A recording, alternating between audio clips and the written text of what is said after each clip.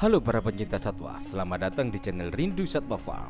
Dukung gerakan melestarikan satwa liar agar tidak ada satwa lagi yang punah dari dunia ini. Dan dukung channel ini supaya tetap bisa memberikan informasi seputar satwa dengan cara like, share, dan subscribe.